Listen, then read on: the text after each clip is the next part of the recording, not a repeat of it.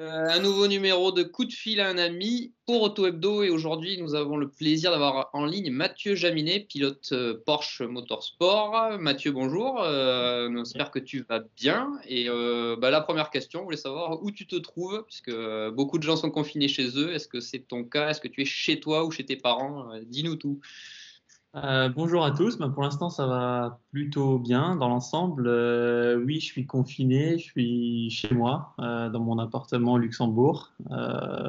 donc voilà, on a la chance qu'il fait beau depuis les derniers jours. Donc ça, c'est plutôt cool. Au moins, j'ai une terrasse et je peux regarder, un peu dehors. Mais ouais, confiné à la maison depuis deux, deux, trois semaines maintenant. D'accord. Euh, au Luxembourg, c'est quoi un peu la situation euh, Est-ce que le confinement est très respecté? On sait qu'en France, c'est parfois un peu compliqué pour certains. Est-ce que c'est euh, différent de l'autre côté de la, frontière? Ouais. globalement, les règles, les règles sont les mêmes. ils sont calqués sur, sur ce qui a été fait avec les pays voisins. ils ont fait leur annonce un ou deux jours après, après le gouvernement français. voilà, après, je dirais que le confinement, dans l'ensemble, il est à peu près respecté euh, pour savoir un peu ce qui se passe de l'autre côté de la frontière et notamment chez moi, plus du côté de Metz. Euh, je dirais que ça c'est un peu moins respecté de, de ce côté-là, a priori.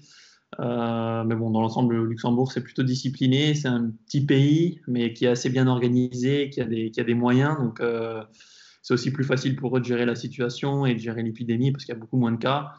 Euh, ils ont mis pas mal de choses en place euh, déjà bien en amont, donc euh, c'est sûr qu'on est confiné, mais voilà, on n'est pas en, on n'a pas la sensation d'être dans un gros état de crise, quoi. D'accord. Comment t'occupes tes journées en ce moment? Tu as, réussi à mettre une routine en place ou c'est un peu compliqué de ce point de vue-là? Ouais, non, je pense que j'ai pris une, une, petite routine depuis, depuis une, deux semaines. Euh, bon, je suis pas trop du matin, donc j'en profite un petit peu euh, avec des, grasses matinées. Mais euh, voilà, du sport tous les jours. Je pense que c'est important dans, dans, cette période de rester en forme. normalement, à ce moment de l'année, on est plutôt occupé. Les pilotes, il y a beaucoup de tests, beaucoup de courses. Chez Porsche, on fait, pas mal de choses. Donc, Là, ça nous donne vraiment le temps de, se poser, de faire du sport et, de bien se préparer pour la reprise euh, quand elle aura lieu. Euh, parce que euh, voilà, je pense que ce sera les gens qui sont le mieux préparés et ceux qui seront prêts au moment donné qui, feront la différence, parce que la saison s'annonce dure quand ça reprendra. Donc voilà, un peu de sport, un peu de PlayStation, pas de simulateur. Je vois beaucoup de monde qui fait du simulateur.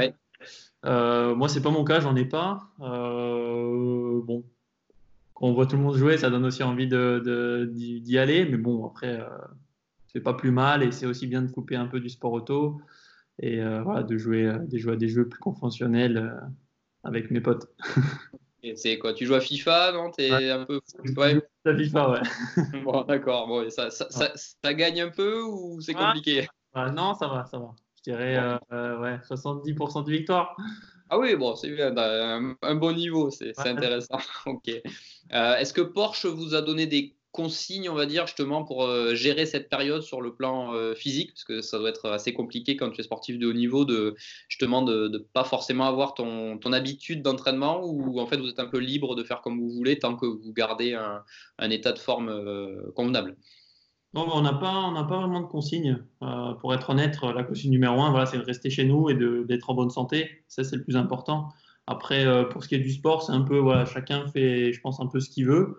Euh, mais au final, voilà, comme je te le dis, la période, elle est plutôt bénéfique vu que dans la saison, enfin, voilà, peut-être qu'il y a des périodes qui s'entraînent un peu plus que moi, mais je m'entraîne assez peu.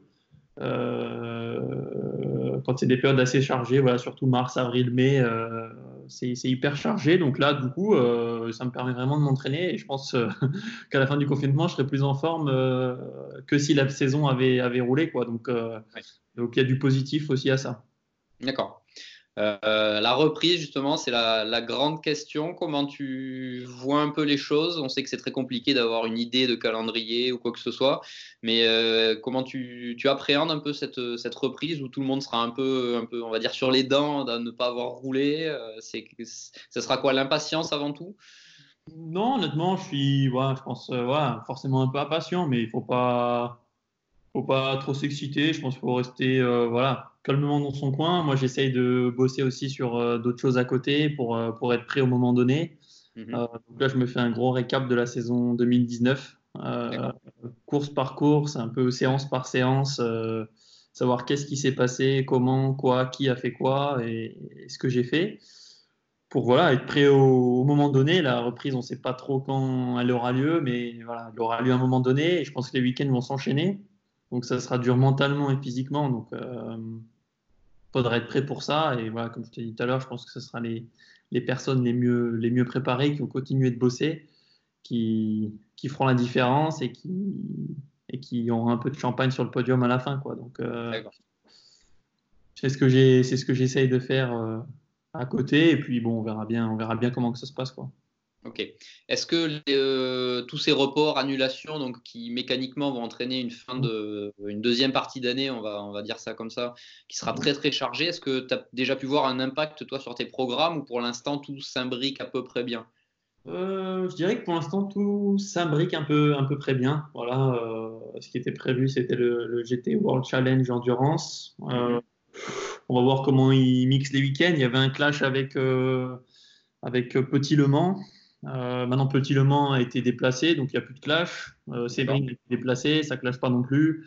l'IGTC, ça a pour l'instant pas l'air de, de, clasher non plus. Donc, bon, euh, bien sûr, il y a Le Mans Nürburgring, mais les dates ont aussi, été, aussi été annoncées. Donc, grosso modo, voilà, pour l'instant, moi, il n'y a pas trop, trop de clash. Euh, peut-être une ou deux annulations, mais bon, après, euh, c'est façon, dans tous les cas, c'est Porsche qui décide et on ira là où il faut aller, et puis, puis voilà quoi.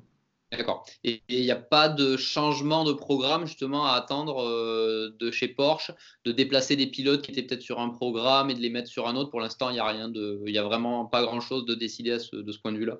Honnêtement, euh, moi, j'ai pas eu d'écho. Euh, mhm. Je pense que c'est pas peut-être pas l'ordre du jour, c'est peut-être encore un peu tôt. Euh, on va voir où l'épidémie nous mène et, quand la reprise sera annoncée et que les dates seront fixées. Mais bon, on voit que de semaine en semaine, ça fait que de bouger.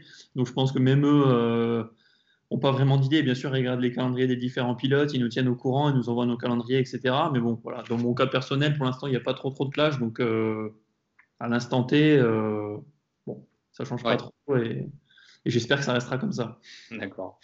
Je reviens un petit peu sur euh, le passé, donc ta saison 2019 avec la, transition 2020 où il y a eu du changement euh, dans le très bon sens pour toi puisque tu as le statut de pilote Porsche officiel désormais, vraiment le grand titre, on va appeler ça comme ça. Euh, qu'est-ce que tu retiens de ta saison un peu 2019 Ça a été une grande étape, on va appeler ça comme ça? D'un point de vue, voilà, d'un point de vue carrière, ça a été une grande étape, euh, une étape qui a été enfin franchie, parce que tu vois, c'est comme ça que je l'ai ressenti. Euh, j'ai fait trois ans de, GT avec Porsche euh, après le programme junior en étant Young Pro. ça a mis un peu de temps. J'ai essayé de faire mes preuves au maximum. Et voilà, je pense que l'année dernière, c'était, c'était le moment ou jamais, de, voilà, où je franchis l'étape, où je vais essayer peut-être de faire autre chose, mais mais bon, voilà, ça s'est bien passé. Après la saison en elle-même, honnêtement, je suis globalement un peu déçu parce qu'on euh, a eu pas mal de, pas mal de, problèmes, un peu de malchance, des erreurs. Euh, donc voilà, on n'a pas performé au niveau où on aurait dû. Euh, donc c'est justement pour ça que maintenant, voilà, j'ai vraiment le temps, des journées entières pour point par point refaire le bilan. Et voilà, pour moi, le bilan, il est frustrant et j'aurais aimé mieux faire. Et l'objectif de 2020, quand ça reprendra, c'est vraiment de vraiment de mieux faire, d'un point de vue personnel. Ouais, d'accord. Et euh, là, je reviens sur justement ce que tu dis, reprendre un peu ta saison 2019. Euh, pour toi, là, le travail que tu fais un peu sur toi-même, on va dire ça comme ça. C'est quoi? C'est de l'analyse de data? C'est regarder des caméras embarquées? Est-ce que tu peux nous détailler un tout petit peu ça? Ouais, ben, Je reprends en fait euh, voilà, des caméras embarquées, des data, des courses. on arrive maintenant à retrouver facilement un peu toutes les séances qualif, toutes les courses, tous les relais. On retrouve les chronos, on retrouve tout. Euh, plus ou moins sur Internet. Donc euh, on, arrive, euh, on arrive dans le détail à tout, tout reprendre, hein, voir ce qu'on a fait bien, pas bien, aussi apprendre les autres en regardant les courses, hein, voir ce qui a été fait de bien et pas bien par les différentes équipes ou les pilotes. Mhm. Donc on apprend aussi des autres, donc ça c'est plutôt bien. Et, voilà, ça prend un peu de temps, vu que des courses d'endurance, quand on regarde des courses de 3, 4, 6, 24 heures, au moment là j'ai fait déjà les 24 heures de Nürburgring il y a, a 3-4 jours, une semaine. Ça prend, temps. Surtout si tu mets pause et que tu veux regarder un détail spécifique. ça, prend un peu de temps, ouais, mais on, on, voit pas mal de choses, on apprend pas mal de choses et, et c'est plutôt sympa. Ok. Je sais que tu es euh, assez lié avec Patrick euh, Pilet, vous vous entendez très bien. Est-ce que tu as, des nouvelles un peu? Il est, il est confiné aussi chez lui euh, il est dans le, Tu sais où il est? Ouais, ouais, il est confiné bah, chez lui à la maison. D'accord. il va bien, sa, femme aussi, Guéna, va, va, bien. Pour l'instant, tout va bien pour eux. Il a un peu de boulot dans son jardin et tout à la maison, donc il bosse et il fait du sport. Et voilà, on s'est fait aussi un petit, un petit challenge, donc on essaie de perdre tous les deux un peu de poids. D'accord. Euh, on s'entraîne euh, chacun de notre côté dur, on essaye de perdre un peu de poids et euh, voilà, être prêt pour la saison. Et voilà, de son côté, ça va, ça va bien. Ok.